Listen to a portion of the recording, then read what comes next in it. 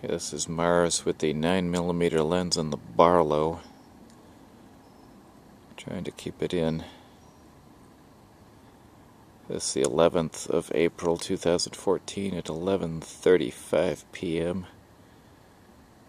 You might be able to see the polar cap to the top center right.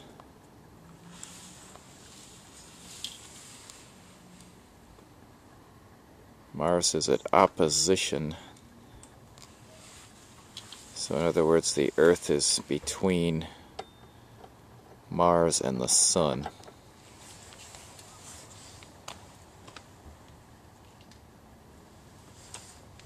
So, it's very close to its closest approach to Earth this observing season.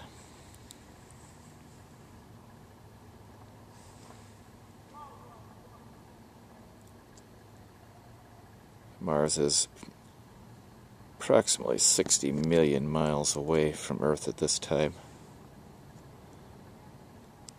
I'm holding a flip video camera up to the lens.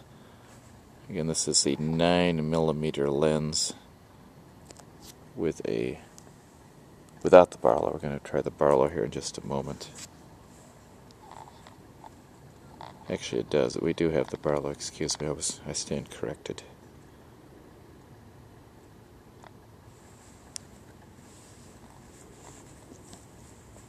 Again, you can should be able to make out the polar cap to the upper right.